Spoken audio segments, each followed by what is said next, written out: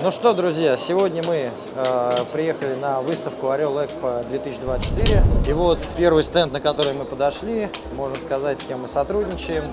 Компания Рика НВ, тепловизионные прицелы. И компания Рика НВ сотрудничает с компанией МОК, Московская оружейная компания, которая делает замечательное оружие. Высокоточное нарезное оружие. Тепловизоры как раз появились, пришли. Друзья, будем продолжать снимать, тестировать э, компанию Рика НВ будут новинки. В планах у нас еще поснимать, показать вам доводы, прицелы ШРС и МРС. Ну и все остальные лесники, у нас их много не было еще на канале. И 19 сравнение снимем, и 35 -й. Так что давайте дальше погуляем по выставке, посмотрим что-нибудь, повыбираем и посмотрим, какие еще тепловизоры здесь представлены.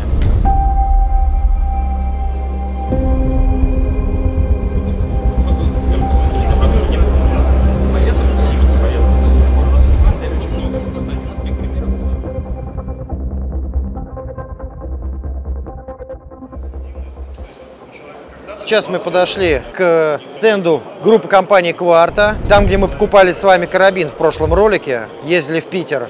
Вот к стенду Гаут подошли, к оптике, да, то есть недорогая оптика от китайского бренда, называется Гаут фирма. Я думаю, что мы с ней поработаем, ее поснимаем. Широкий ассортимент таких прицелов, как больших с большой кратностью, загонных прицелов, потом форм-фактор компакт, есть даже фиксированная кратность, четырехкратник. Я вот хочу его сейчас в первую очередь взять, на мелкашку повесить, ходить на рябчика. Я думаю, будет интересно. А сетка, как э, раньше делал Липерс, прикольная, кстати. Не знаю, она у нас, наверное, как... Мы проверим ее размер. Ну да, он фиксированный чисто, четырехкратник.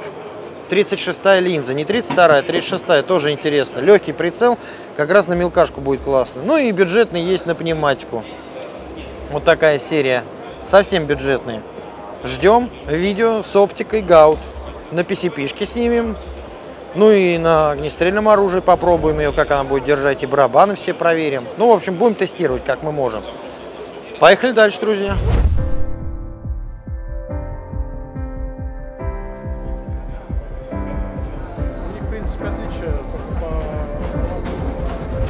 Ну что, друзья, я думаю, что у нас скоро появится, в принципе, и сайтонги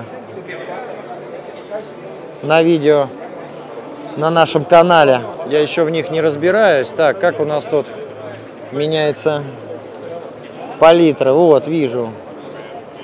Я привык просто к горячему белому. Но здесь, понимаете, здесь на выставке трудно понять его картинку. Но судя даже по...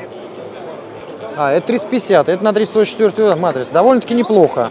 Слушайте, довольно-таки неплохо. Заказать у нас их можно в нашем магазине подписчикам со скидкой, но пока на канале у нас их не было. Я не знаю, появятся они у нас, не появятся. Если нам компания Кварта предоставит такую возможность, э, выделит нам оптику, мы ее, конечно, будем снимать, тестировать, поедем с ней на охоту. Ну, так вот, на первый взгляд, в принципе, я, честно сказать, ну, неплохо. Но надо стрелять, смотреть. Надо стрелять, смотреть. Говорят, что на этих моделях э, X, э, XM есть баллистика встроенная. Жень, я правильно говорю, баллистика встроенная на XM? На AM и на XM встроена. И на M. А, ну вот, даже на M, друзья, встроена.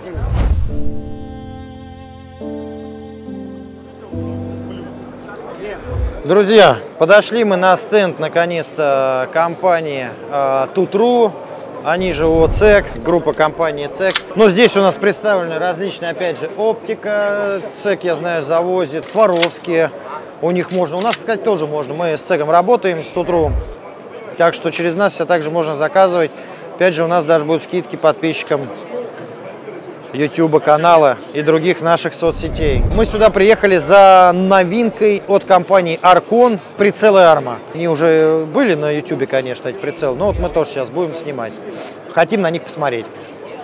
Давайте здесь посмотрим, осмотримся.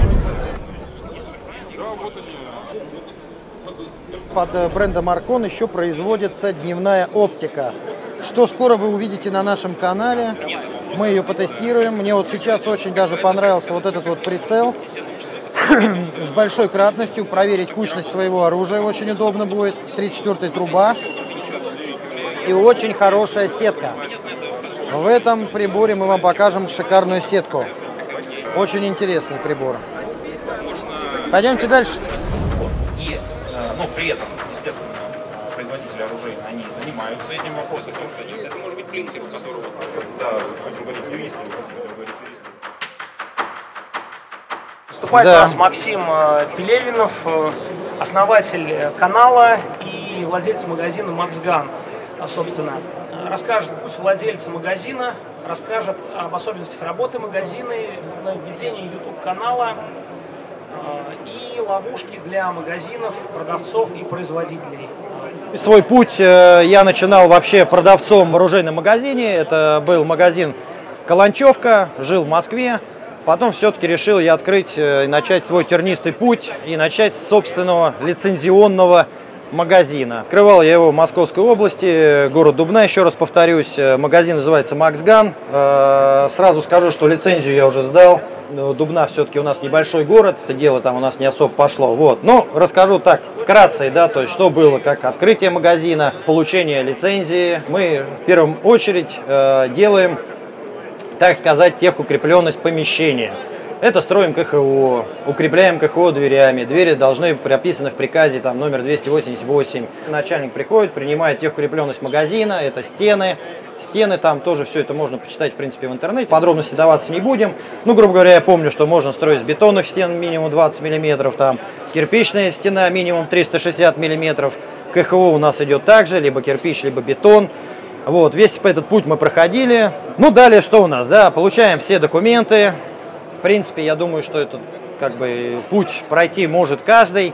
Далее мы, естественно, ну, нам нужно чем-то торговать и выставлять витрины. Ну, конечно, закупка оружия, закупка патронов. Берет пачку, грубо говоря, патронов 12 калибра. Ну, все ее понимают, она такая довольно-таки объемная, большая. Вот у меня стоит 4 сейфа, да. Три сейфа у меня под патроны, 3 мм сталь. А под оружие сейф разрешен э, для юрлиц 2 мм сталь толщиной, то есть, но это все отдельно. Пороха отдельно, патроны отдельно, нарезные патроны отдельно, гладкоствольные патроны отдельно, порох отдельно, оружие отдельно. Значит, мы меряем эту пачку, мы меряем общий объем этого сейфа. У меня получается там, ну, не более 25 тысяч единиц патронов. Я думаю, а если я мелкашечные хочу купить, да, например, вот э, как, там пачечка маленькая, сколько влезет мелкашечных патронов? Тут не написано в 288 приказе, да, такого, что вот именно по 12 калибру мы меряем. Нет, патронов действительно не хватало, хотелось привезти и то, и то, да, то есть я там привозил немножко нарезного, ну и в основном, конечно, гладкоствольные. Берем весну, охота открывается на птицу. Естественно, все продажи гладкоствольных патрон идет весной, да, то есть осенью он идет, конечно, но не такой большой э, оборот, то все-таки мы получили, потом пересчитали и нарезные, да, то есть там и мелкашечные, там, ну, примерно как-то. И они все влезали. Есть такая тема, как бы без лицензии вам, ну, не дадут э, подержать оружие в магазине, на самом деле, я этот момент узнавал, я не видел, чтобы это где-то было прописано, да, то есть это, наверное, уже как-то внутреннее, если, конечно, может, меня тоже э, поправишь, э, это... Было прописано такое где-то, что я там, например, без лицензии не могу в магазин. Я тоже не слышал. Но магазины не дают, да. На самом деле, я э, сколько по- ну, пытался как бы эту тему изучить, э, нигде не увидел в законодательстве, что где-то это запрещено, да, по идее, как бы вы можете прийти. Но здесь, наверное, все-таки магазин имеет право внутренние какие-то правила внести, да, то есть не дать вам это оружие. С собой имеем всегда паспорт, естественно, подтверждающий личность вашу, э, лицензию на приобретение данного какого-то оружия. Отдаем это продавцу, продавец имеет право забрать, все, вы осматриваете оружие, понятно, что лицензия в магазине, вы уже как бы потенциальный покупатель. Далее, процедура идет записи оружия, вписывается там, ну, также ваши паспортные данные, вписывается номер оружия, модель оружия, вписывается в каком магазине а, он, оно было приобретено. Далее у нас есть три корешка на лицензии. Ну, все как бы, вот у меня даже, я сталкивался с такой ситуацией, да, там, что-то мне мой корешок там, отдай мне два корешка. На самом деле нет. Это прописано в приказе. Это действительно, один корешок остается у покупателя оружия, другой корешок остается в магазине, и третий корешок, прям даже на лицензии можно прочитать, направляется юридическим лицом в лицензионку там, где человек прописан, от, э, ну, по паспорту, то есть именно по прописке, мы, магазин, как юрлицо, обязан отправить его заказным письмом, чтобы у меня было подтверждение того, что я все-таки направил эту лицензию в указанный срок. Там дается три дня. То есть с момента покупки оружия. Какие еще да, моменты вот, э, бывают? Ну, покупка патронов, понятно. Патроны продаются по разрешению. Калибр тот, который у вас прописан в разрешении. Кстати, есть хитрый момент, и я с этим сталкивался. Вот, кстати, э, я бы это даже тоже обсудил. Смотрите, да, вот бывает, например, Ваше оружие 12 на 70, либо там 12 на 76. Вот знаете, как-то вот тоже все бывает не дописано, да, что-то не прописано где-то. И мне говорят, вот у вас 12,76, а вы 12,70 купить не можете. Я говорю, а почему? У меня же влезет в патроник 12,70. Хорошо, если бы у меня был 12,70 калибр, Здесь я не спорю, 12,76, наверное, да, он у меня не влезет, я не закрою его, да, то есть еще что-то, ну, это опасно, да, то есть это действительно, а как же, да, 12,76, вот я приходил, помню, магазин, это было в Москве, то есть я не помню, как, ну, даже, может быть, и помню, я не буду говорить, прихожу, вот у меня МР 155, 12,76 патроник, а мне не нужны 12,76 магнумы эти, да, то есть я хочу там либо полумагнумы, либо обычные там 32 грамма. Мне говорят, 12,76 покупайте, то есть вот опять, да, вот как вот э, с ними... Э, Вообще, вот, это трудно. Ты же ничего не докажешь в магазине, тебе же сказали, что нет и нет. Ну да, нет, нет, хорошо. Кстати, по поводу тоже ведения книг, э, да, то есть у нас э, велись книги, это прихода, приход оружия и патронов, да, это юридическая книга, их несколько. А, например, я закупаю какое-то оружие, какие-то патроны, да, то есть я веду их отдельные книги, у нас вот есть эта книга. Опять же, как ее вести? Вот здесь просто, да, работая в Москве в магазине, я уже имел представление, как писать. Но когда я открыл свой магазин, оказалось, это неправильно. Часто получается так, что трактовка законодательства, да, то есть этого, она бывает в разных регионах по-разному, и мне вот, честно сказать, ну, мне это не нравится, да, то есть почему никак не напишут, вот даже для их, я понимаю, юрлица это узкий круг людей, кто открывает там лицензионные магазины, это все очень сложно на самом деле, это ну, не всегда, наверное, это прибыльно. Нету какой-то там стандарта э, писания, ведения этих книг, и я вот с этим лично столкнулся, мне это очень сильно не понравилось. То же самое, да, вот помню, мы столкнулись с дверями на КХО, я их менял три раза. Э, вроде все сделали, там пруд такой-то, 16 миллиметров, там э, шаг этого прута такой-то, дверь такая-то, замки такие-то. Ну, смотришь по приказу, ну, там, наблюдаешь свою дверь, да вроде все правильно. Не, неправильно, бизнес э, такой очень трудный, как бы, да, то есть магазин у меня был убыточный, я решил уйти потихонечку в YouTube, больше уделять времени охоте, потому что с магазином никуда не уедешь, все время надо быть на месте, а здесь я уже волен быть как бы, ну, сам себе хозяин, ни, ни от кого не зависишь. На Новый год там не обязательно быть в магазине. У нас тоже хитрое такое законодательство, прям прописано в, 2000, в 288 приказе, если не ошибаюсь, что инвентаризацию э, патронов и оружия мы должны проводить либо за один день до Нового года, ну, до закрытия, либо не позднее, чем через один день после Нового года. То есть это 31 декабря и 1 января. Классно. И это серьезно, то есть это можно открыть, да, 288 приказ и почитать, ну, как бы, почему бы на стоп все не нажать, да, там, грубо говоря, не опечатать от КХО, прийти, например, э, посчитать после праздников эти патроны. Все там ответственный, грубо говоря, да, я был ответственным у себя в магазине, э, супруга у меня была директором, э, оттиск печати там директор ставит, опечатываем, все, э, ребят, приходим после Нового года, считаем все эти патроны, нет, нифига, 31 или 1, ну, странно. Далее мы уходим, значит, в YouTube, начинаем потихонечку развивать YouTube, делать какие-то видеоролики, ну, там, раньше у нас были, ну, понятно, не умеешь, не знаешь как, что, какая-то камера была там старая, давай попробуем. Но хотя она была хорошая, и она до сих пор есть. Начали снимать, и вроде смотришь, народ-то начинает смотреть, прошел год, там, прошел два, подписчиков все больше больше.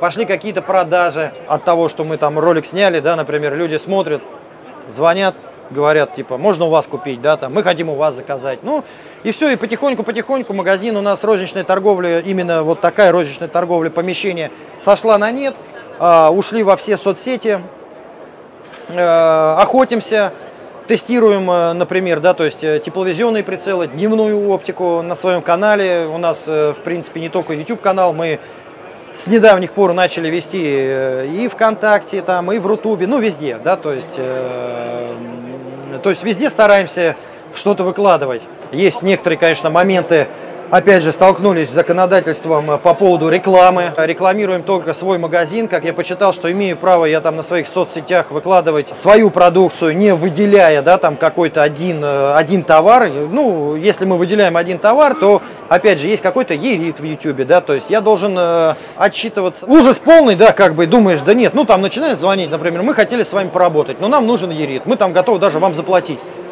думаешь, да я не хочу каждый месяц куда-то что-то там, э, отчеты сдавать. То есть, ну, ну, в общем, мы остались э, верны себе, рекламируем только себя, как бы, ну, самореклама, я не знаю, даже это реклама не назовешь, просто вот тесты приборов, ну, плюс в магазине мы нашим продаем. Ага. Да, хорошо. Главный момент вот с рекламой и главный минус для меня это а, я привлекаю трафик, то есть я закупы делаю в Телеграме, это именно что раньше не было проблем. То есть ты выбрал Согласен. канал, закинул денег и размещаешь. Сейчас нужно маркировать все это дело. Соответственно, либо как-то идти в белую рекламу, ВК, Яндекс, это очень дорого, сильно дорого, потому что НДС у всех. Вот. Либо как-то вот, как-то вот так. Очень важный момент привлечения подписчиков новых, потому что органик сейчас очень, очень Согласен. работает. Поэтому, да, почитав все эти законодательства, я понял и принял решение, что я буду, значит, показывать ассортимент своего магазина, не выделяя какой-то один либо товар, да, то есть это, кстати, блогерам, может быть, это будет полезно, кто имеет какой-то ИП или еще что-то, что-то чем-то, ну, продает потихоньку, да, что-то. Вы имеете право показать свой ассортимент магазина э, на общую публику на своем э, этом, как его, ну, на своих соцсетях. Я думаю, что с Ютубом, в принципе, все понятно. Ведением блога тоже, я думаю, все понятно. С лицензионным магазином я так примерно, конечно, подробности я тоже не хочу там говорить. Это очень долго можно об этом разговаривать, про, про законодательство наше, как оно написано. Да, может быть, есть какие-то вопросы у вас. Сейчас у нас э, ООО, ООО «Максган», магазин, мы, как и наши соцсети называются «Максган», также и ООО «Наш магазин». Занимаемся только оптикой, узкий ассортимент – это только тепловизоры, дневная оптика, ну и там PCP, пневматику, я там с одним брендом работаю, но опять же я хочу как бы э, больше с оптикой, больше с оптикой. Да, как бы меньше движений, да, как бы больше вникаешь э, в тему изучения одного продукта, становишься в этом более профессиональным, и люди начинают прислушиваться как к профессионалу. И Я действительно уже большой, у меня опыт и охоты, большой опыт, я занимаюсь охотой и, и с ночной оптикой, да, там тепловизоры, ночные прицелы, потом э, дневная оптика, вот. Ну, пришлось купить, конечно, очень много оборудования для того, чтобы снимать более-менее хорошую картинку, показывать. Я думаю, что мы на этом не остановимся, будем еще покупать оборудование. Ну, по мере возможности, по заработку деньги, да, у нас там деньги не лежат, мы всегда эти деньги куда-то вкладываем. Развиваемся, будем говорить так, вот. Это когда новый закон приняли по поводу Ланкастера, полнорезных, это как сказалось на рынке оружейного? Да, это очень, кстати, Это очень, кстати, не, я, я, я отвечу вот э, человеку как э, владелец оружейного магазина. Я скажу, что продажи упали, когда запретили Ланкастер и сделали первое оружие, можно купить двухстволку. Я скажу, что 20%, ну вот э, 80% упало вообще продажи. Я продавал там, во-первых, это Ланкастер, а во-вторых, это ТГ, ну, всякие, как его, э, 366 ТКМ, Магнум потом 366 вышел. Ну, иногда продавались вот эти вот маленькие патрончики, как под 9 миллиметров, я не помню, 345, кажется, калибр. Но хочу сказать, как охотник, я не против этого законодательства в плане безопасности. Вот это я хочу э, честно сказать, потому что я часто присутствовал на охотах и был начинающим охотником, и был, кстати, из тех людей, который начинающий охотник купил себе это оружие Ланкастер, э, ТК-598, ограниченная техримовская версия, очень мощное, очень точное оружие, летит далеко, э, на своем примере могу сказать. И если когда ты, понимаете, когда ты в первый раз на охоте, там, например, на том же самом, э, на загоне, у тебя настолько прыгает адреналин, что порой планку, да, может, э, ну, где-то что-то ты, ну, честно сказать, не дай бог, со мной такого не было, но я знаю, что такое этот адреналин получаешь первый раз, когда я поехал вообще в первый раз на загонную охоту, и тут на меня лось выходит. У меня двухстволка была, мы стояли на полувышке, со мной, да, с каждым из стрелков был егерь, то есть это такие в каше на него угодья были, вот. Ну, как бы все, молодцы ребята. Но даже егерь больше меня нервничал, чем я. Но когда лось шел по номерам, он понимал, что я стреляю вниз гладкоствольным оружием, но там стоял номер тоже на полувышке, он мне кричал, я прям слышал, стреляй, стреляй, я думаю, это поле, он далеко не уйдет, он отошел от номеров, я уже стал его стрелять, и, в принципе, два патрона у меня было, ну, лось упал. С ланкастером, опять же, я не исключаю рикошеты, еще что-то, пуля тяжелая, летит, в принципе, тоже далеко, не дай бог кто-то дернет там навесом стрельнет, далеко улетит. Ну, в общем, в плане как бы безопасности я не против этого законодательства, а в плане продажи, ну, конечно, да, здесь, э, ну, я думаю, Техрим и многие производители э, намучились, но надо что-то придумывать. Кстати, недавно тут смотрел видеоролик про сегодняшнюю выставку. Э, Сергей Бадюк сказал, что, кстати, интересно сказал, мне понравилось, ему сейчас не хватает классических ружей, да, что мы сейчас можем купить из нашего российского классических ружей, охотничьих я имею в виду. У нас все в порядке в плане высокоточки, в плане военного оружия вообще вопросов нет. А вот именно классики. Мы что имеем? ИШ-43, классическую горизонтальную э, двухстволку, там ИШ-27, вертикалку, и мы имеем, получается, нарезной э, болтового взведения карабин, это лось. Ну а что мы еще имеем, может быть мне подскажут. Иж 18 одностволка, а из нарезного что мы имеем? Вот красивая обработка металла, хорошее воронение. Ну вот, например, даже возьмем э, те же самые производители, да та же заставу, да, вспомните. Не, Blazer R8 не российское оружие, вот я говорю про российское. Что мы имеем? У нас нету. Вот почему бы производителю, ну, может быть, будет, ну, как бы посмотреть в эту сторону, я понимаю, в данный момент это будет трудно сделать, потому что сейчас ситуация в стране такая, что, наверное, там то оружие военное больше востребовано. Ну и надо не забывать про нас, про охотников. Тем более, я так понял, что тема это не просто э, падает, а наоборот развивается у нас эта охота. Я смотрю, и у меня в магазин приходили молодежь, э, покупали э, оружие для охоты, чтобы ходить там на птичку ту же самую, учиться охотиться. Ну, как бы тема у нас, я думаю, охота в России только растет. Поэтому надо производителю в эту сторону посмотреть. И я все-таки куплю себе оружие, если буду выбирать и будет что-то выбрать, конечно, в первую очередь я буду рассматривать российское оружие. Вот, я думаю, на этом все. Спасибо всем за внимание. Вот, э, надеюсь, было интересно. Вот, ну, я с вами прощаюсь. Ну и хорошей всем выставки. Спасибо. Большое спасибо, Максим. Очень интересно был познавательный рассказ. Спасибо вам. Согласен со, со всеми тезисами. Лично я. Далее у нас блок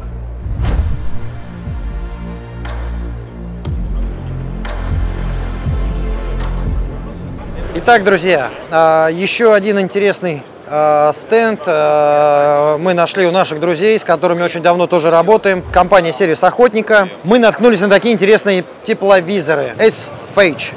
S-Fage скоро у нас появится на канале. Мы их обязательно потестируем, мы с ними поохотимся. Есть интересные модели в форм-факторе таком минимальном маленьком. Есть форм-фактор привычный, стандартный для нас.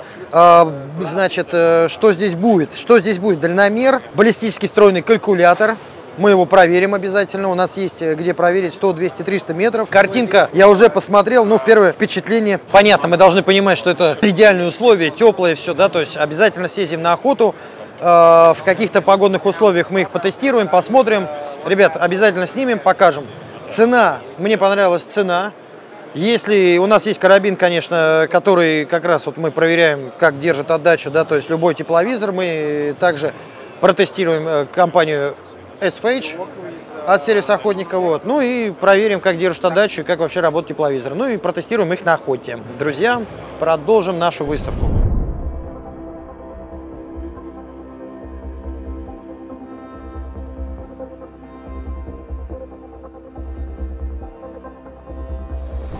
Ну что, друзья, сегодняшний день подходит к концу. А, ждем новое видео с оптикой без дальномера. Покажем компактность этих прицелов от компании Рика НВ. Ну что, друзья, хочу вам сказать, что всем а, подписчикам, неважно, YouTube, контакт, там любую соцсеть, на которой мы есть, а мы есть на любой соцсети, у нас в магазине предусмотрены скидки. Заказывайте прицелы получайте консультацию. Ну а я с вами прощаюсь и ждем новых обзоров от компании прицелов от компании Рика НВ. Всем пока!